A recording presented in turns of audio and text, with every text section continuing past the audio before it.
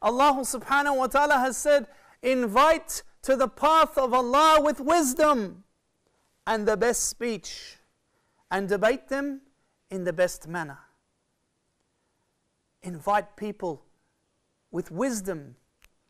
Think of a way that will be best to, to call them to Islam, to encourage them to become Muslim. Use your wisdom and the best speech. For it is not fitting for a believer to in, invite people with a speech that is not speech that is good and